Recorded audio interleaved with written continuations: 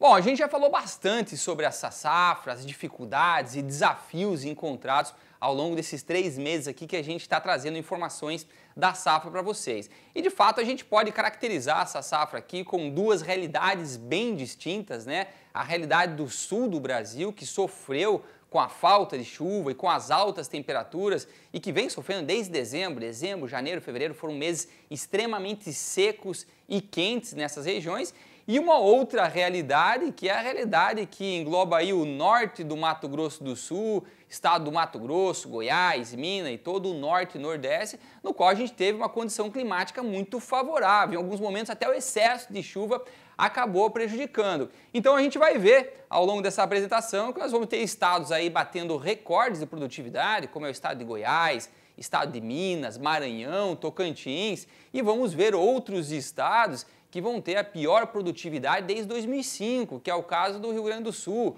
ou até mesmo o estado do Paraná, que é a pior produtividade desde 2012. Então essa é a grande característica dessa safra, aí, uma irregularidade muito grande e bem dividido entre duas regiões.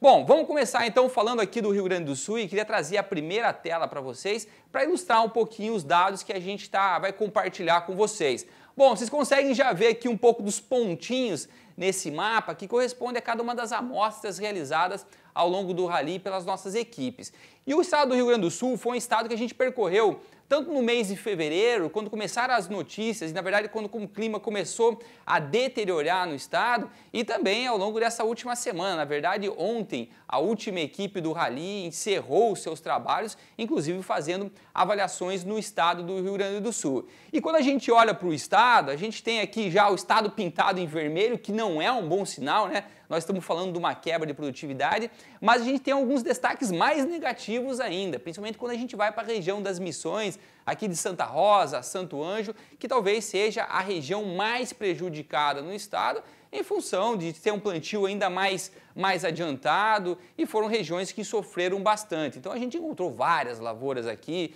que sequer seriam colhidas, lavouras de 10 sacos, 15 sacos de produtividade por hectare. Quando a gente entra aqui na região do Planalto, e estamos falando já de Palmeira das Missões, de Juí, Cruz Alta, e mesmo indo para a Serra, esse cenário se repete. O que muda talvez seja um pouco da época de plantio. Quanto mais tarde foi o plantio dessas lavouras, melhor é a condição que a gente encontrou no campo. E a gente tem uma outra região ainda que é toda a região metade sul do estado do Rio Grande do Sul, estamos falando aí de 1,5 milhão de hectares, que a gente não avaliou, inclusive, nessa etapa do Rally, que tem uma lavoura muito mais tardia e que vem com um potencial um pouquinho melhor.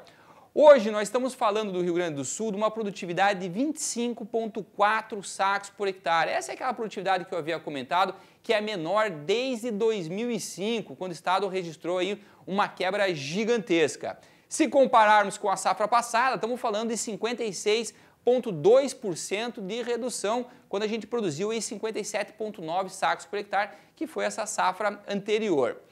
Nas últimas semanas, e conforme a gente foi avançando a colheita, que está muito incipiente no estado, nós temos em torno de 4, 5% colhido no estado, a gente já começou a se deparar com, com algumas notícias um pouco mais animadoras para o estado, muito em função do retorno das chuvas ao longo do mês de março, que tem trazido uma condição de desenvolvimento um pouco melhor, principalmente para essas lavouras tardias. Então, quem sabe a gente consiga revisar ainda o estado do Rio Grande do Sul, conforme vai avançando a colheita, para um resultado até um pouco mais positivo que esse que a gente vê aqui.